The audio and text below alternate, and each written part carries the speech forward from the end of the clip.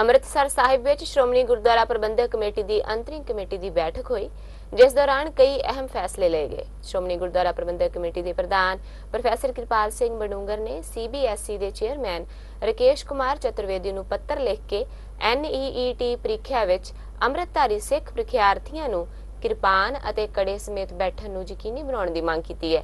ਉਧਰ ਫਿਰੋਜ਼ਪੁਰ ਦੇ ਪਿੰਡ ਮੱਲਾਵਾਲਾ ਵਿੱਚ ਗੁਰਬਾਣੀ ਦੀ ਬੇਅਦਬੀ ਦੀ ਘਟਨਾ ਤੇ ਉਹਨਾਂ ਨੇ ਦੁੱਖ ਜ਼ਾਹਰ ਵੀ ਕੀਤਾ ਹੈ। ਇਸ ਮੌਕੇ ਤੇ ਅੰਤਰਿਮ ਕਮੇਟੀ ਦੇ ਮੈਂਬਰ ਅਮਰਜੀਤ ਸਿੰਘ ਚਾਵਲਾ ਨੇ ਕਿਹਾ ਕਿ ਉਹ ਮਾਮਲੇ ਦੀ ਰਿਪੋਰਟ ਤਲਬ ਕਰਨਗੇ।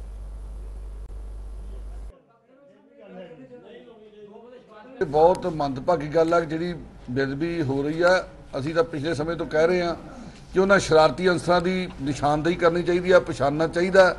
ਪਿਛਲੇ ਸਮੇਂ 'ਚ ਇਹਨਾਂ ਲੋਕਾਂ ਨੇ ਇਹ ਘਟਨਾਵਾਂ ਆਈਆਂ ਨਹੀਂ, ਬਹੁਤ ਲੰਬੇ ਸਮੇਂ ਤੋਂ ਹੋ ਰਹੀਆਂ।